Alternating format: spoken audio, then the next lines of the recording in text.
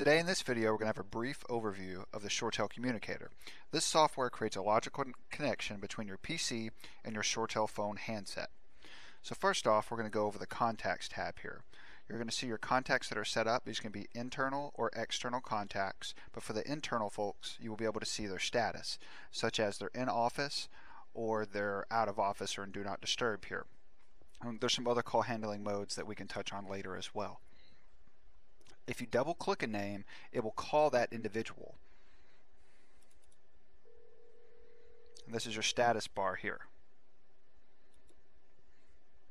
So you can do everything here that you can do on the handset as well. You can also dial directly to their mailbox by pressing dial mailbox and you'd go straight to their voicemail. As well as here on the status bar you can transfer directly to their voicemail. Now I'm going to add an outside contact we're going to add it to the contacts group. You can actually have different groups here, maybe such as um, inside sales, outside sales, etc. But we'll just do uh, contacts for now. We can go in and add an individual, such as Alan A. We can put their company name, their department, but for now, we'll just do their phone number.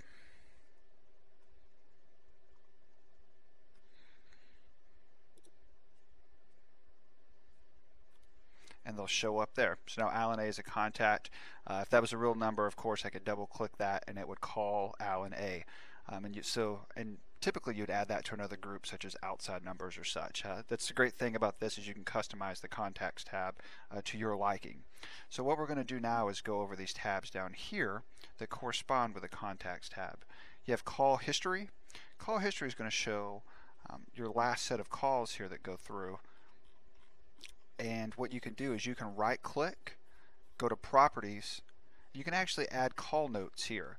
This is very useful um, for people such as receptionists that are leaving notes. You can also uh, use it in a CRM fashion such as call customer back and such. This call history will log the last 1,000 calls that you've made out in and had transferred to you. We also have the voicemail tab here this is going to show different voicemail boxes. If you're an individual with one voicemail, then you just have that one voicemail. But there are certain instances where you want individuals to have access to uh, things such as a general voicemail box. So maybe a uh, receptionist has her voicemail or his voicemail here, as well as a general voicemail here for the entire company. A bold message here would indicate that message had not been listened to, and a uh, normal font would indicate that the message had been listened to or it was old and you can right click and save these messages as well. Export to a WAV file and then that file can also be emailed. There is the option as well to have um, things such as voicemail to email and you can mark it as unheard as you saw there um, for this voice message here to be bolded and unlistened to if you perhaps accidentally clicked it and had to go back and listen to that. You also have your, your directory. This is going to show your system-wide numbers that you have integrated into your ShoreTel system that's been done through the admin tool that everyone uh, has access to. you also have the ability to integrate your directory with Outlook if that's if a hook that's been done during your install. It integrates very nicely. I want to go in really quick to um, a troubleshooting issue we have here at times with customers is individuals instead of clicking these tabs in and out may accidentally click the X here because that's what they're accustomed to using. So now this is twofold. I want to show you how to add contacts back and also how you can customize this. You're going to come up here and click the ShoreTel logo. You're going to go to Windows and you're going to add the contacts again and you'll see it show up here.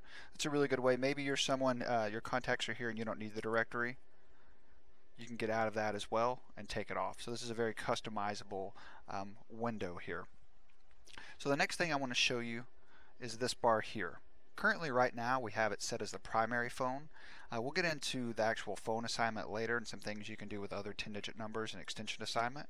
Uh, this is dependent on the access of the user uh, at setup and you can uh, change this to things such as a soft phone, which would be the ability uh, to not have a handset and just use uh, a Bluetooth type headset uh, or something of the sorts off-site, or not have a handset at all. Again, this is dependent on the access given to the user. We'll go further into that in another video.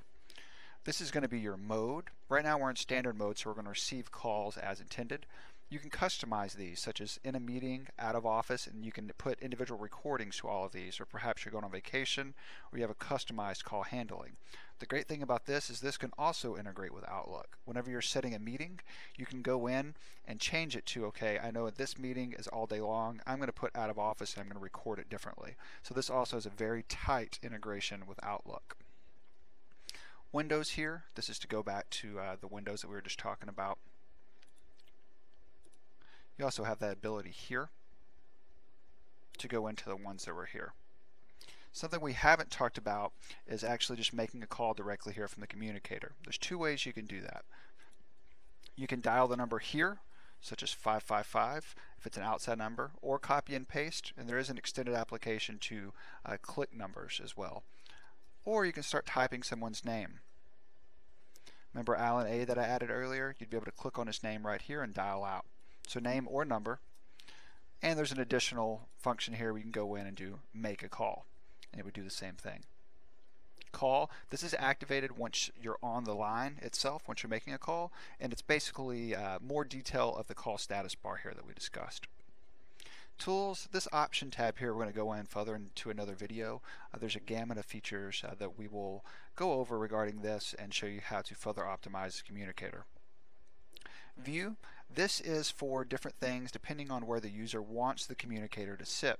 Right now we just have it in normal mode. You can make it small, you can dock it on the top and it would be here. You can right pane it similar to other GUIs that you've seen in the past. Uh, so really, yet again, you can customize it based on the user. Here's a help bar uh, that will bring you to a table of contents and allow you to search and control F for different functions. So that is a quick overview of the ShoreTel communicator. We'll dig in further in other videos and thank you for watching.